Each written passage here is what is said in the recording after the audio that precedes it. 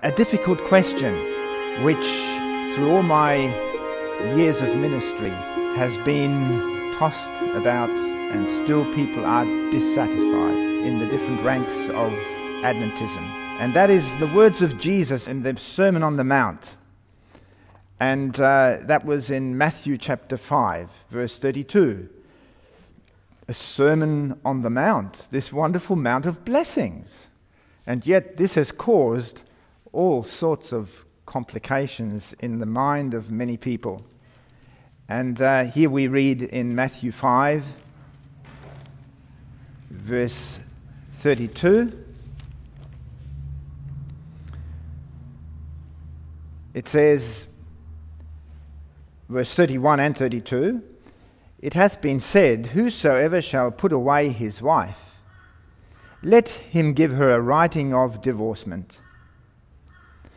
But I say unto you that whosoever shall put away his wife, saving for the cause of fornication, causeth her to commit adultery, and whosoever shall marry her that is divorced, committeth adultery. This text has been a problem in the ranks of Christianity, especially in these modern times. And uh, the statement from the thought, Thoughts on the Mount of Blessing that is given by inspiration here is on, in Thoughts from the Mount of Blessing, page 63. here it is written in that first paragraph there. And right in the middle of the paragraph it says, In the Sermon on the Mount. Jesus declared plainly that there could be no dissolution of the marriage tie except for unfaithfulness to the marriage vow. And then in Adventist homes, that particular statement is qualified without any confusion whatsoever. An Adventist home, page 344.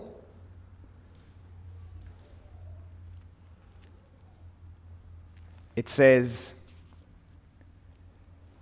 to this particular lady, in reference to this particular lady, I saw, I saw that Sister J as yet has no right to marry another man. But if she or any other woman should obtain a divorce legally on the ground that her husband was guilty of adultery, then she is free to be married to whom she chooses. And up a little higher it says, there is only one sin, which is adultery, which can place the husband or wife in a position where they can be free from the marriage vow in the sight of God. Then come all the different texts that arise in the Bible to say what Sister White is saying doesn't seem to gel. So we have a difficult question that needs to be answered. And um, to gain a correct answer to such a difficult question is not gained by debate or discussion. This is my title for our study here at the time. Not by discussion.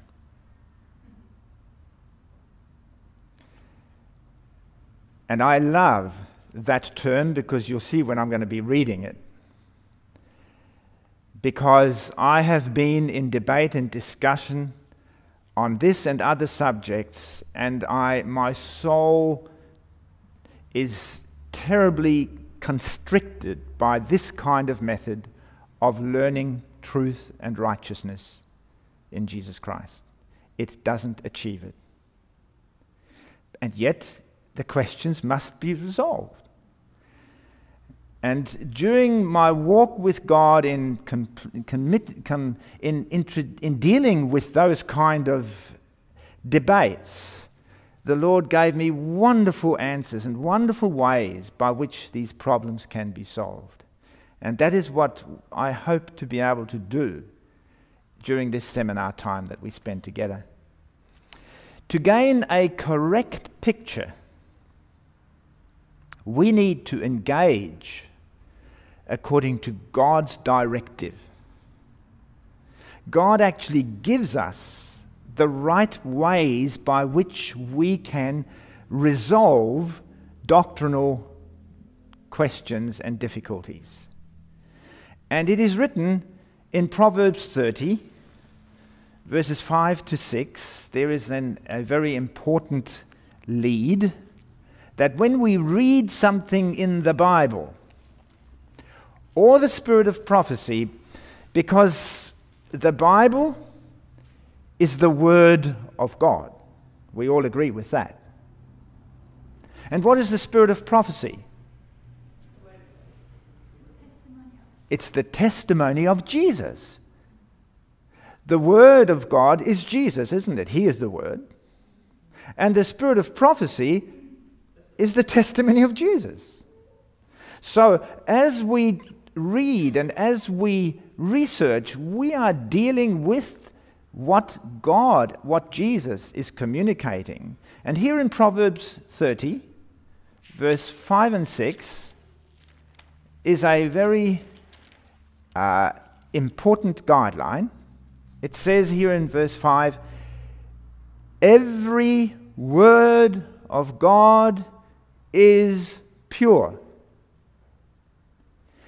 He is a shield unto them that put their trust in him.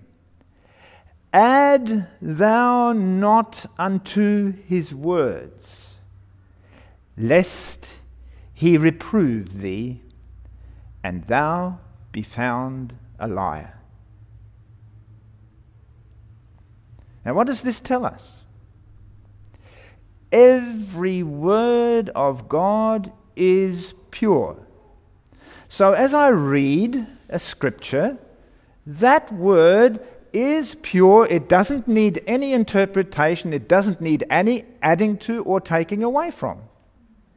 And that is the principle by which I have gained my understanding over the years. I have stuck very, very dearly to that principle. I will not change a single word in explanation of that scripture, lest I be found a liar. And I don't know whether you've noticed, people do a lot of that. They say, oh, that doesn't exactly mean it like that. It means it's slightly different. Sorry, I cannot agree because every word of God is pure. And I cannot alter it, no matter how much I would like to. And I've been a person who's liked to change a lot of things to suit my background, and my opinion. But I can't. And neither can anyone else. They will be found a liar if we add unto his words. Or, as it says in Deuteronomy, if we take anything from it. So, if God has said it, if the testimony of Jesus has said it, it is so. And then, if every statement I read, it is so, I need to get a correct um, understanding of that. It, sometimes it, there's some things that appear obscure and difficult to try and put into place. We go to Isaiah chapter 28. Isaiah chapter 28, and there we read verses 9 to 12. That as we read a statement from God's word, a thought, a point of truth. We don't rely on that statement alone to get a complete picture. If I want to get that statement qualified, it must be done like God has instructed us to. Verse 9 through to 12. Stay yourselves and wonder. Cry ye and cry. They are drunken, but not with wine. That's from uh, Isaiah 28. Sorry, I've been reading 29. I was over the page. But it's, it's connected as well. They are confused. but here we come to Isaiah 28, verse uh, 9. It says, Whom shall he teach knowledge? Right? We want to understand knowledge. Whom shall he teach knowledge? And whom shall he make to understand doctrine? Them that are weaned from the milk and drawn from the breast, in other words, mature. For precept must be upon precept, precept upon precept, line upon line, line upon line, here a little and there a little. For with stammering lips and another tongue will he speak to this people. To whom he said, This is the rest wherewith you may cause the weary to rest, and this is the refreshing. Yet they would not hear. You are seeking for a resolution to a stressful debate. You are looking for a resolution to to difficulties of, of interrelationships with people of different opinions. There is a conflict of knowledge, a conflict of doctrine. It says, you want to find rest, you want to find knowledge, you want to understand doctrine, then it must be by not changing a single statement of God's word, not altering it the slightest, but placing it next to other texts, placing it right through by precept upon precept, line upon line, and here a little and there a little, because that is what God has said He has spoken to us like. And He did it for a very special purpose. You can read about it further down, because as, he, as it says there in that statement in verse 12, yet they would not hear. There is a strong opinion in every sinful human being that even if God makes it clear, they're still going to reject it. And so he has put it in such a way that only the genuine seeker will find his way through the confusion. He will search for that hidden manna that's covered over by all this, this stammering lips in which God speaks. And so we are distinctly told that if we are going to come to a correct teaching, that we must search the scriptures like that and correctly compare scripture with scripture as it says in 2 Timothy chapter 2 verse 15. 2 uh, Timothy chapter 2, verse 15.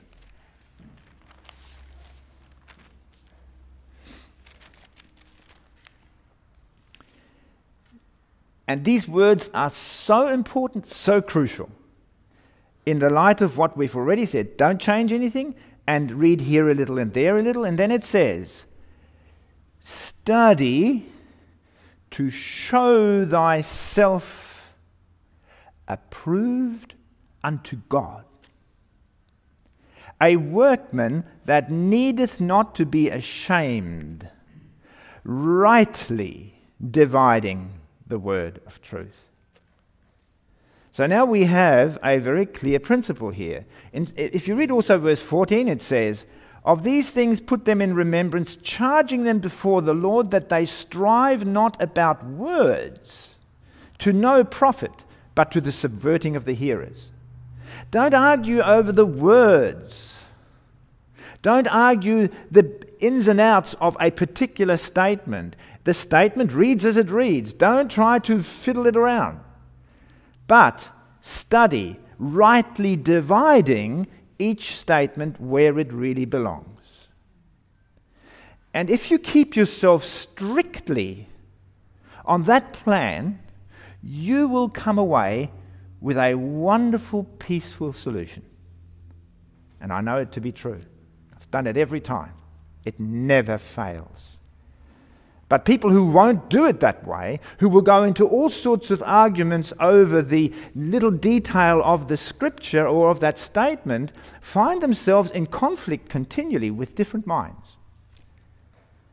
And there is no, as it says, it is to the subverting of the hearers. And how many people, in all my experience, have, have given up a simple, beautiful Christian walk because it has become so complicated by so many versions of interpretations.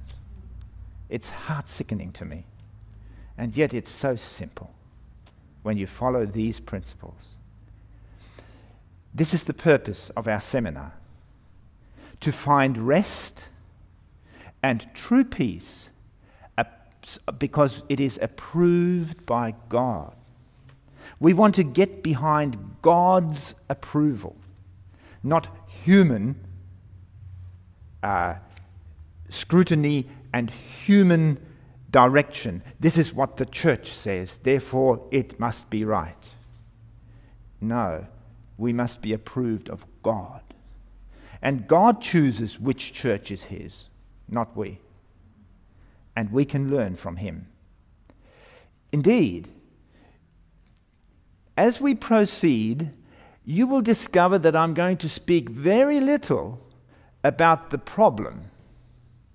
I'm going to read very little about the problem that I just initiated here. I'm going to cover material that for a while you think, what's he doing? Why is he bringing this up? And why is he bringing the other one up? And why is he bringing? But if you follow very carefully, you need to pick up, with this backdrop of the question in your mind, you need to pick up the principles that are being established as we go through each particular uh, session in the seminar. You will be able to see a picture that is being painted from God's Word in reference to the issue at stake. And the, as we come near the end of the study, and at the end of this study, I will take you through the subjects that we want to go through so you can get a little appreciation where we're heading. But we are going to experience God in our seminar. We're going to experience God's mind. We're going to look for it on this subject. Because we want to be among a people whom God approves. And in Isaiah 66, you can see the people that God approves.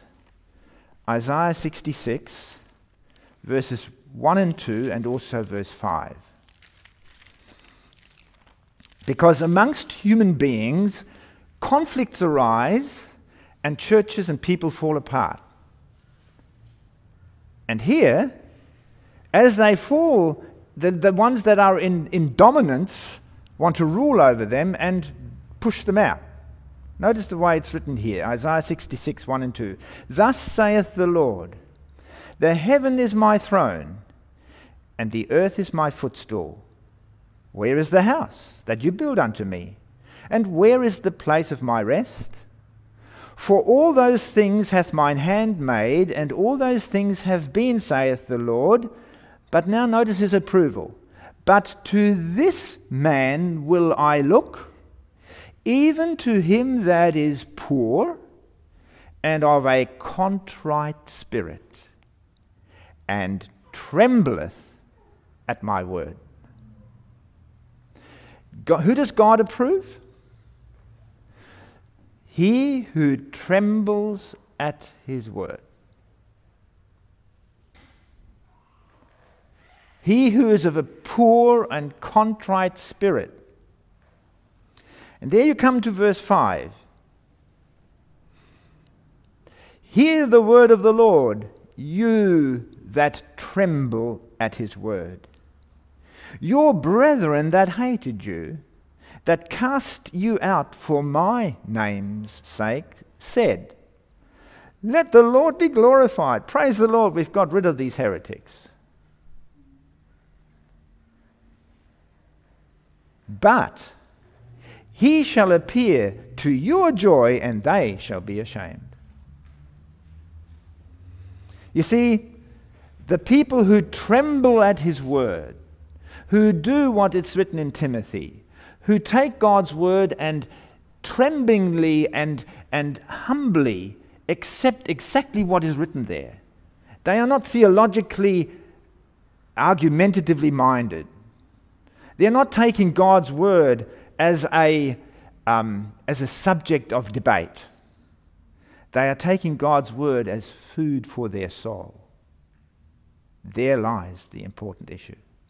And people who do that, God will not leave them to flounder. Because they tremble at His word and He looks to them, He approves them. And others who are theologically orientated, who are orientated in making the scriptures a point of argument, they will be ashamed. They will be ashamed. Why is it that we should tremble at his word? Why should we? Why does God look to people who tremble at his word? Why? Come to Isaiah 55 and you read it there in verses 8 and 9. Isaiah 55, verses 8 and 9.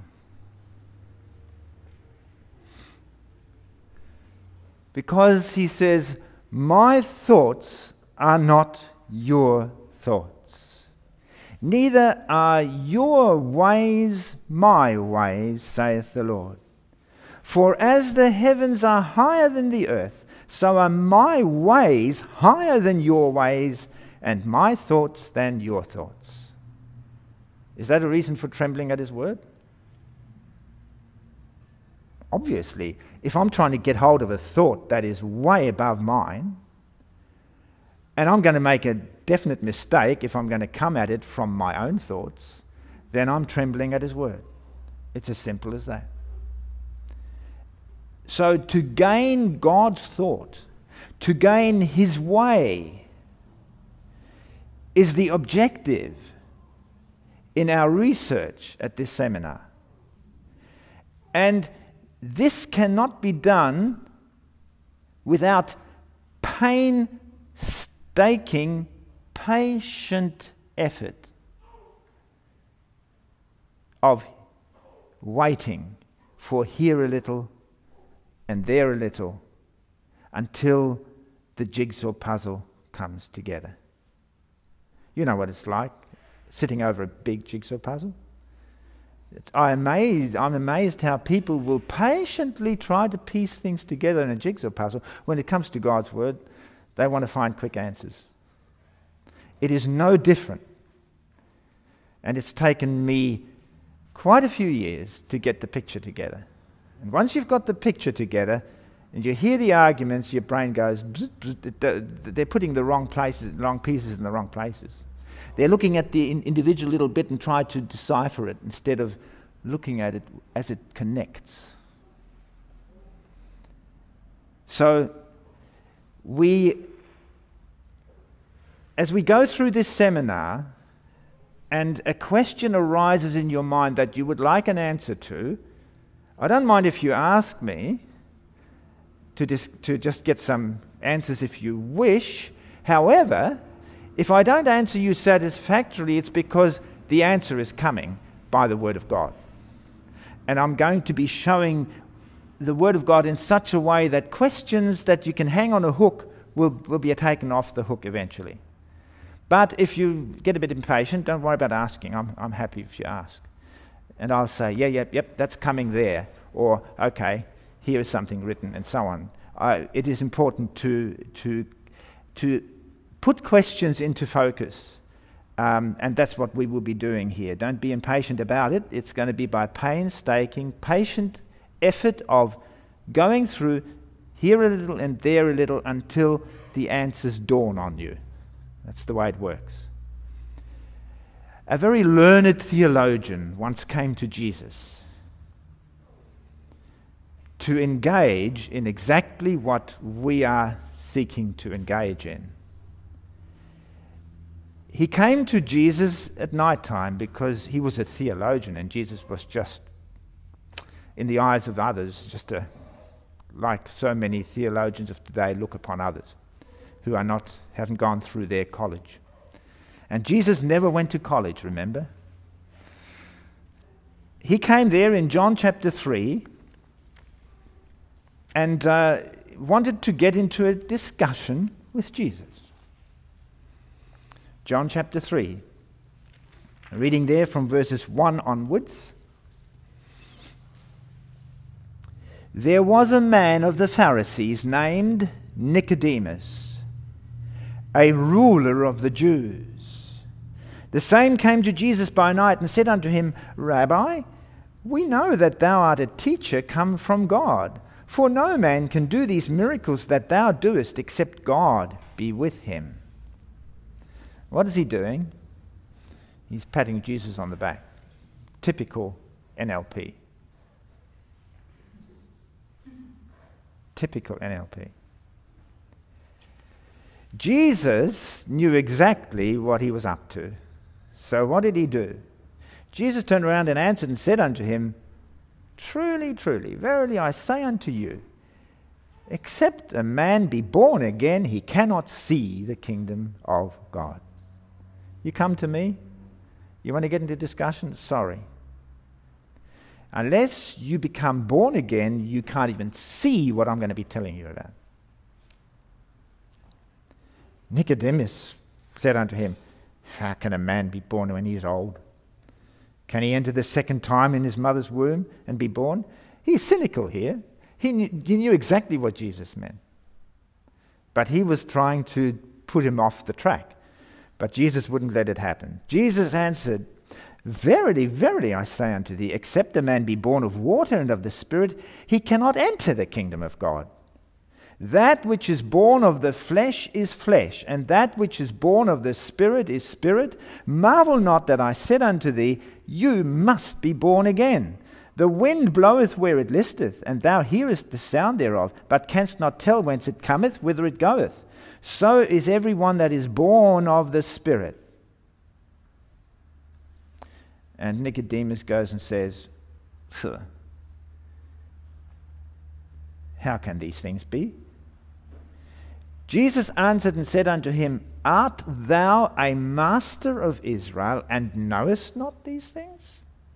Verily, verily, I say unto thee, we speak that we do know, and testify that we have seen, and you receive not our witness. If I told you earthly things, and you believe not, how shall you believe if I tell you of heavenly things? Remember, heavenly things are higher than man's thoughts. And here he is coming to Nicodemus, who's coming to him to discuss the theological concepts that that he had been trained to do to find out from the teacher, and Jesus knew he was going to waste his time because you can't answer a theologian unless the theologian is born again and starts all over again. And uh, how can these things be? Says the theologian. How can I tell you heavenly things that are higher than man's thoughts? If you can't even understand what I'm telling you in regards to new birth. And here comes the beautiful magnification of this interview in Desire of Ages, page 167. Desire of Ages, page 167, and we read here in paragraph 1 it says, this is the whole chapter is beautiful. It deals with Nicodemus. Nicodemus held a high position of trust in the Jewish nation. He was highly educated and possessed talents of no ordinary character. And he was honored, an honored member of the National Council. With others, he had been stirred by the teaching of Jesus. Though rich, learned, and honored, he had been strangely attracted by the humble Nazarene. The lessons that had fallen from the Saviour's lips had greatly impressed him, and he desired to learn more of this wonderful of these wonderful truths. So here he was, affected by education, by human intelligence, and, and affected by the strange atmosphere that was coming from Jesus. He wanted to find out some more. And there we come to page 171, and we read there in paragraph 1 onwards. There it says, Nicodemus had come to the Lord thinking to enter into a discussion with him. But Jesus laid bare the foundation principles of truth. He said to Nicodemus, It is not theoretical knowledge you need so much as spiritual regeneration. Theoretical knowledge is not going to give you spiritual regeneration. You need not have your curiosity satisfied, but to have a new heart. You must receive a new life from above before you can appreciate heavenly things. Until this change takes place, making all things new, it will result in no saving good for you to discuss with me my authority or my mission. Here you have a principle. A change of new birth, which as we go on through our seminar, you will see is a very rare experience in today's church experience. And if that's the case, why that answers a lot of the problems that churches have because it's such a rare experience. You'll hear me reading it. So it won't result in any saving good to enter into discussion while this has not happened. That's what Jesus said to him. And we come down to paragraph 3 and says, the figure of the new birth which Jesus had used was not wholly unfamiliar to Nicodemus. Converts from heathenism to the faith of Israel were often compared to children just born. Therefore, he must have perceived that the words of Christ were not to be taken in a literal sense. But he wanted to get into debate, you see? That's what he was throwing up. But by virtue of his birth, as an Israelite, he regarded himself as sure of a place in the kingdom of God. He felt that he needed no change. Hence, his surprise at the Saviour's words. He was irritated by their close application to himself. Have you ever been irritated when somebody's trying to get something across to you and it just doesn't suit you? There he was. The pride of the Pharisee was struggling against the honest desire of the seeker after truth. There was something, he was, he was bipolar. He was proud, he was a Pharisee, and, and that pride of that pole uh, was struggling against the honest desire of the other side of the pole. He wondered that Christ should speak to him as he did, not respecting his position as a ruler in Israel. Surprised out of his self possession, he answered Christ in words full of irony How can a man be born when he is old? Like many others, like many others, when cutting truth is brought home to the conscience, he revealed the fact that the natural man receiveth not the things of the Spirit of God. Always remember this in all our research of God's Word. If you rely on your natural perceptions, the natural man, you cannot receive it. There is in him nothing that responds to spiritual things, for spiritual things are spiritually discerned.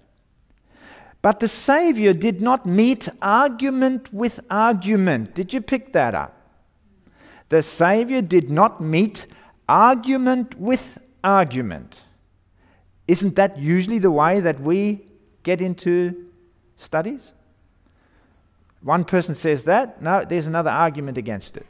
And then, oh, no, no, there's another argument against that. And that's what Jesus never did.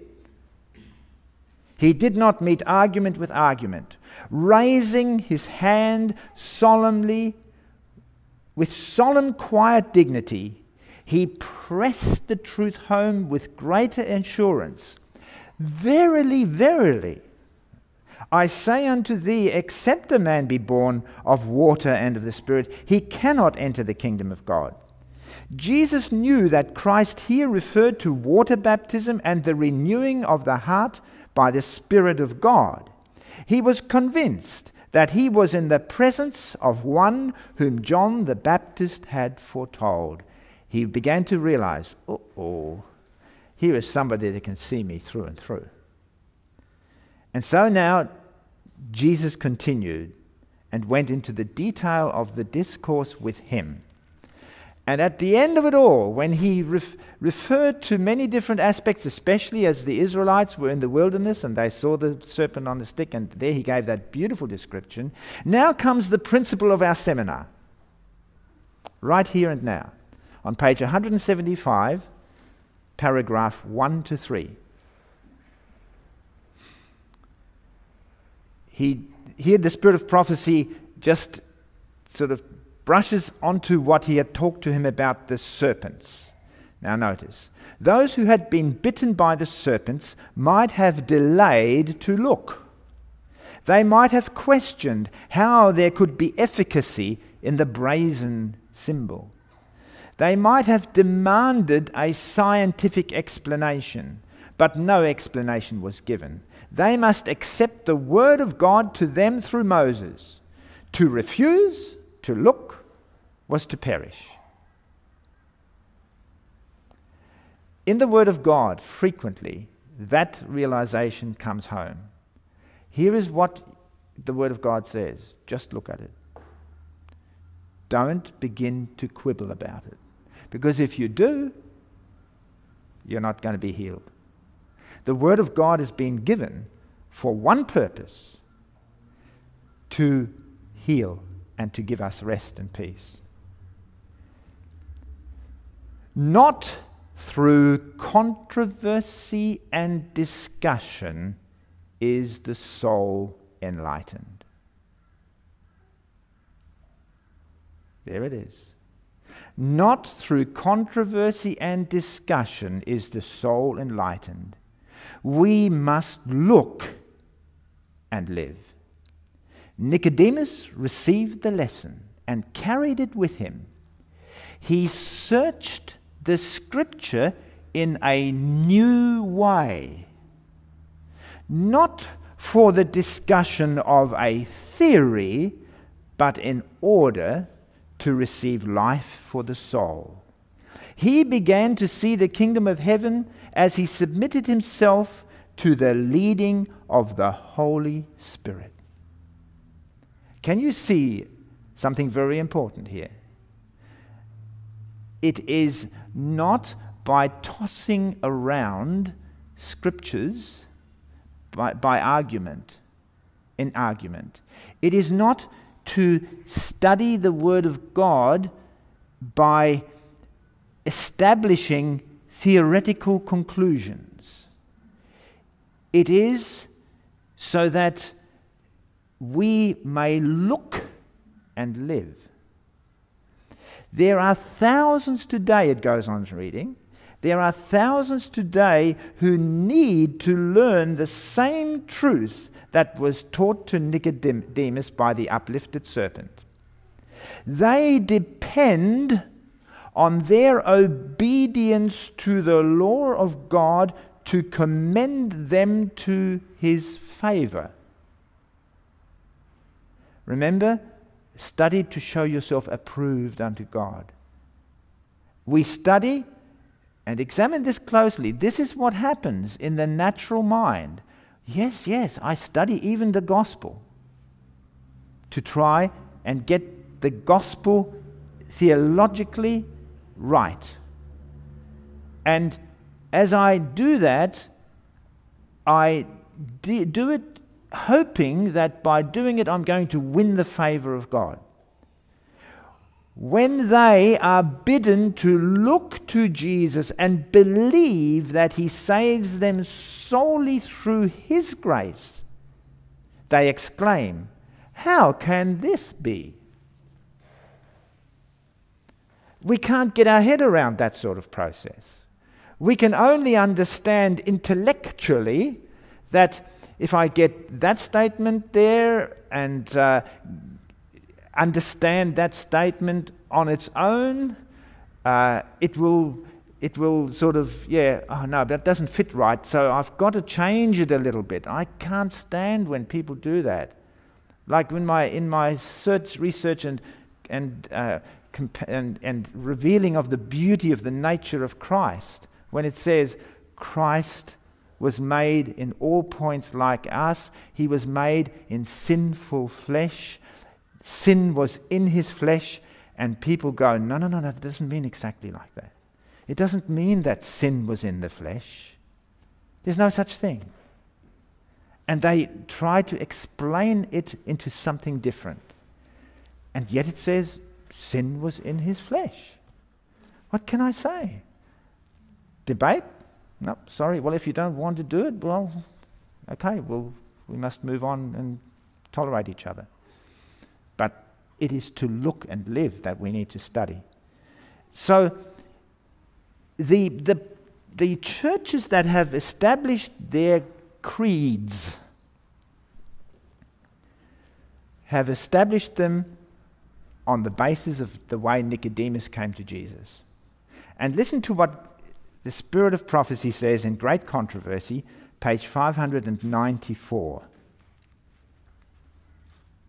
Page 594 in Great Controversy. there, um, it says, oh, I've got the wrong book, no wonder. 594. Great controversy. Right at the bottom of the page, it says,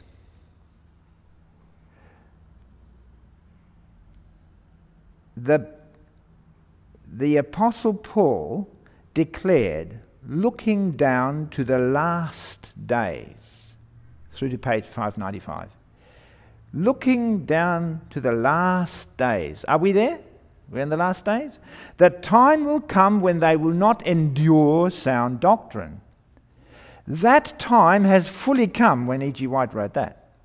The multitudes do not want Bible truth because it interferes with their desires of the sinful, world loving heart. And Satan supplies the deceptions which they love. But God will have a people upon earth to maintain the Bible and the Bible only as the standard of all doctrines and the basis of all reforms. Do you want to be that people?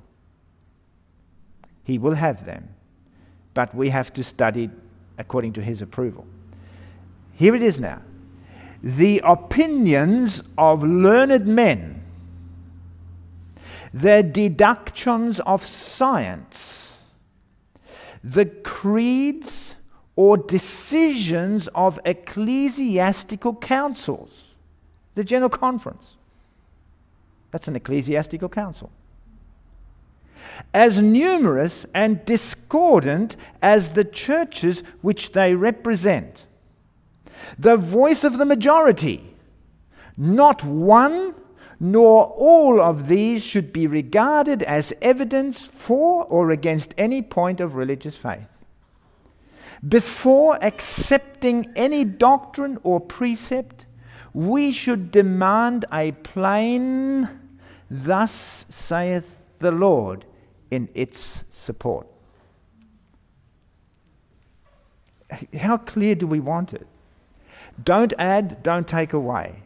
And if they're trying to study the Word of God in their councils and come up to certain conclusions, that is not a clear support of everything that has been stated in God's Word, but they have added or taken away, then I'm sorry. No matter how honorable they are, no matter how much they claim to be God's church, the voice of the majority does not necessarily mean it's right.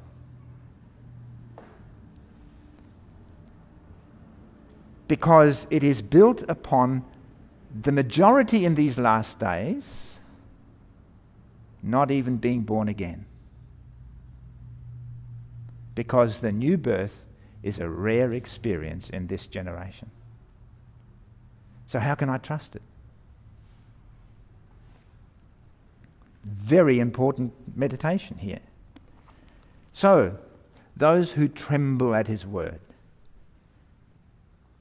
We live in the last closing days of probation. We're not just living at the end where Sister White lived at that time, we're right at the very last closing days of probation. And today, believe me, and I think you've experienced a bit of it yourself, today we are living under a confusion. Daniel chapter 9, verse 7. I love the way it describes it. Daniel chapter 9, verse 7.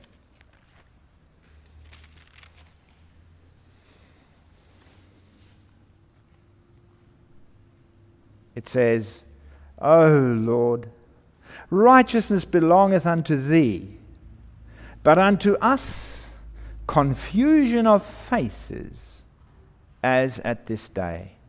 To the men of Judah and to the inhabitants of Jerusalem and unto all Israel that are near and that are afar off, through all the countries whither thou hast driven them because of their trespasses, and that they have trespassed against thee. What belongs to us? Confusion of faces. Daniel prayed like that. And it is very in the very near future that Amos chapter 8, verse 9 to 13, is the reality of the experience. Amos chapter 9, verse 9, sorry, chapter 8, verse 9. Amos 8, verse 9 to 13. How close we are to this you can only discover when you are actually ministering in the Word that there are so few people today who communicate the pure Word of God.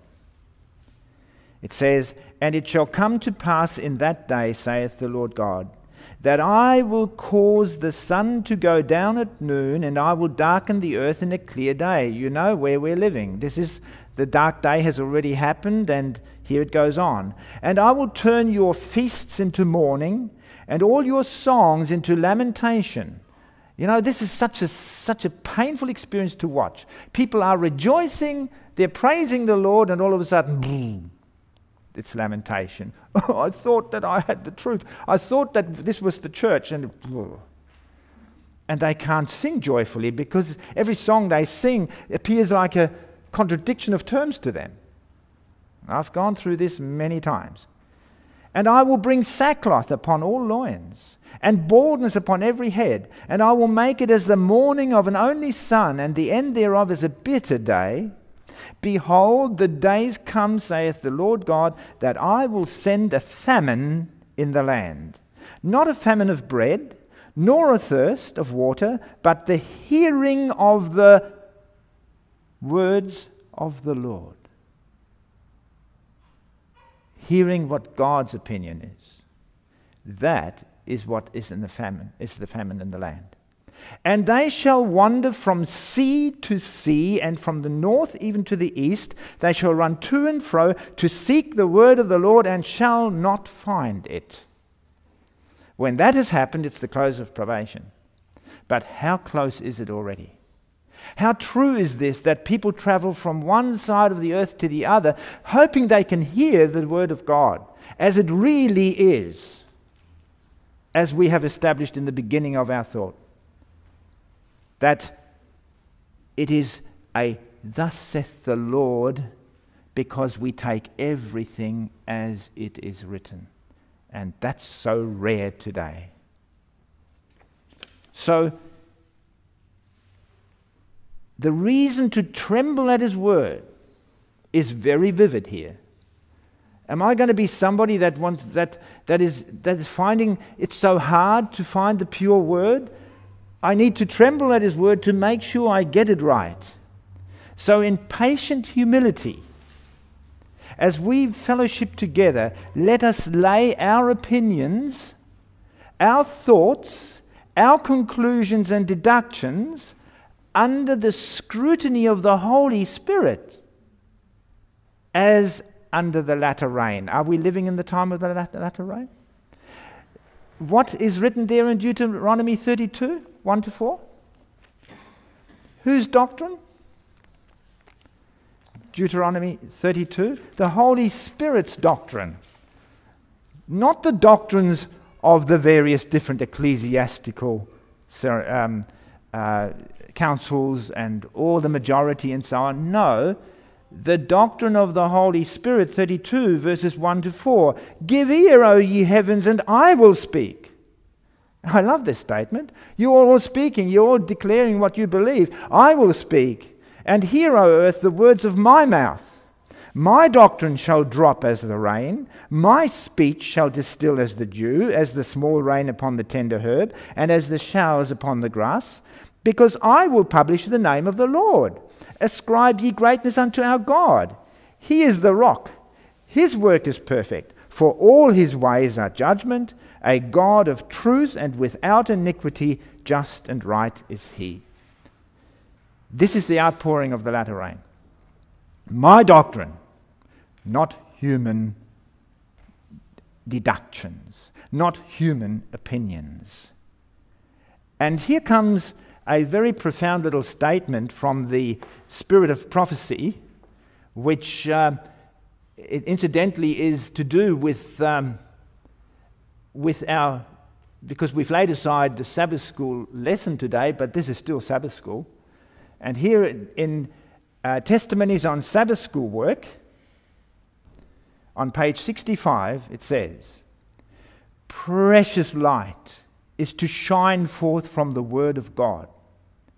And let no one presume to dictate what shall or what shall not be brought before the people in the messages of enlightenment that he shall send and so quench the Spirit of God.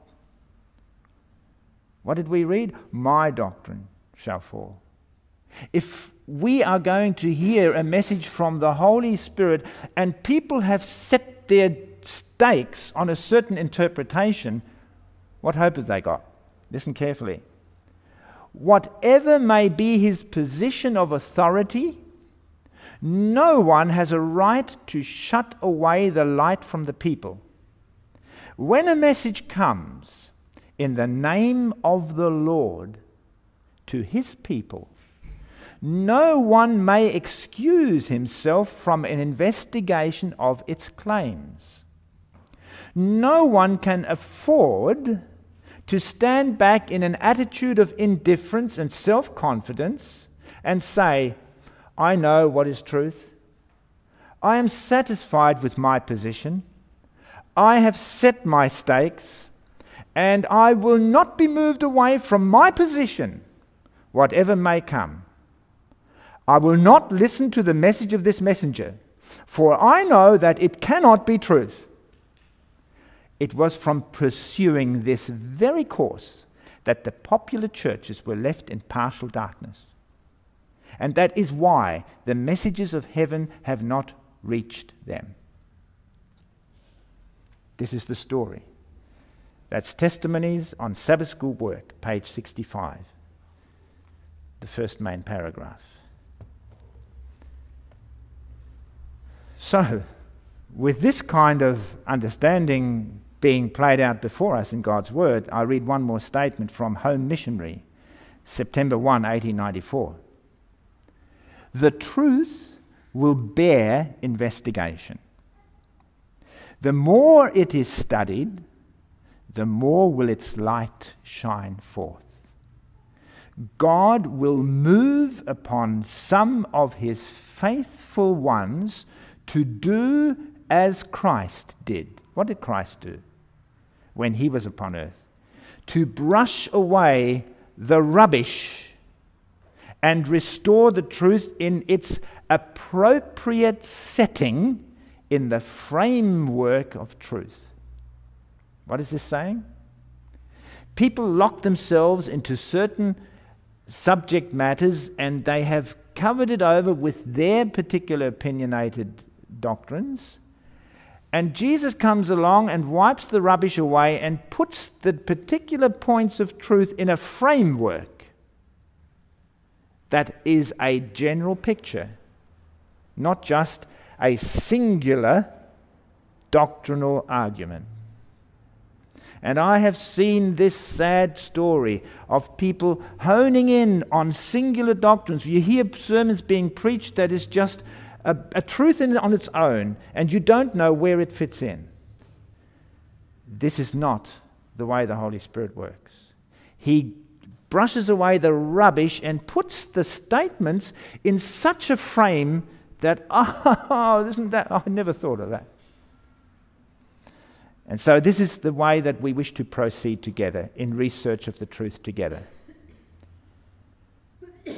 to research it according to Christ's way of placing it in its appropriate setting in the framework of truth. And so, this is our series that we want to go through. And last of all, I want to share with you that there is neither male nor female or marriage in heaven. And we're getting ready for that. And that will throw an amazing light on the whole subject. So may God help us to tune in to the framework of truth, not honing in alone on just one argument, but see it in its framework, and it will answer itself. May God bless us to this end, is my prayer. Amen.